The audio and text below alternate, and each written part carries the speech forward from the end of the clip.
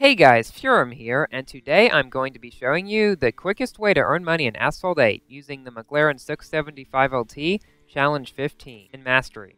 Now, you have to max pro the car to do this, but this race, played over and over, is the most efficient way in Asphalt 8 to actually make credits, or farming, as a lot of people call it, because it's a short track with a fast car.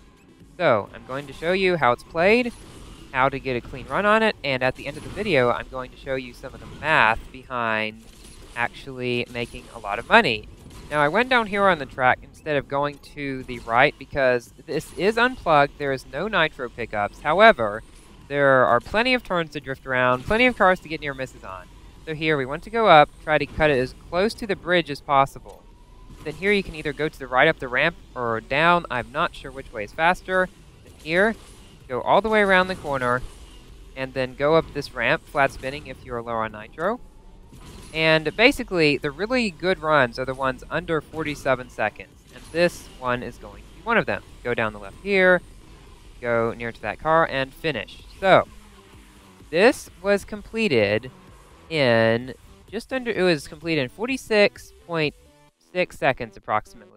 That is a fairly good run. 46.4 or something is possible. I've seen some people get 46 point like 1, but I've not been able to do that.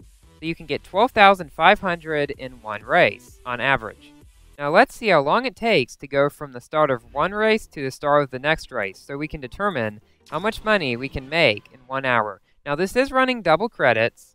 If you are not running double credits, you will only get half this much. Uh, one double credits lasts for 24 hours and it costs 100 tokens. So, I have a timer to the left showing from the beginning of this race. I'm going to keep it going till the beginning of next race, uncut in between, so you can see how long it takes. So, again here, uh, you usually do a flat spin off of that one, but I did not manage to do that one. It will, it will not affect your time very much, as long as you have a good amount of nitro to get through this section. Pretty much try to stay in nitro the entire track here, I go up here. It's shorter, but I'm not entirely sure if it's faster. So there, you can either continue drifting all the way around it, or you can do nitro in the middle of the turn and then start drifting again. So, stay to the left wall. This gives you better time rather than going far out. And finished.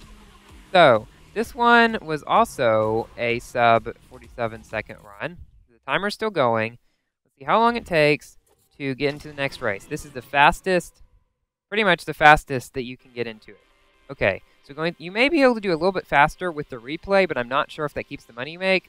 Um, so I've always done it this way. So let's see how long it is. We're about to get to it. 1 minute and 12 seconds, 0.259. Now for the math. So 1 minute, 12 seconds, 2.59 milliseconds is approximately equal to 1.2 minutes.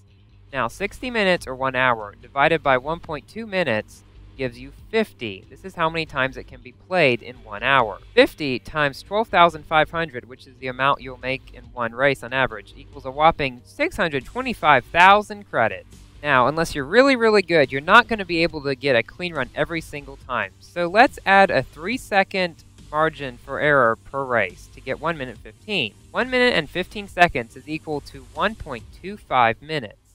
Now 60 minutes, or 1 hour, divided by 1.25 minutes equals 48, the amount of times you could play this in 1 hour. 48 times 12,500, the amount you can make in one race, equals 600,000 credits, which is a more realistic amount that you could make in 1 hour. This is equal to 10,000 credits per minute. It is very worth it to max pro this car, not just for this money race, but also for events. Thank you guys for watching. Like and subscribe if you enjoyed and found this video useful, and if you would like me to make more Asphalt 8 videos, and I will see you later. Goodbye.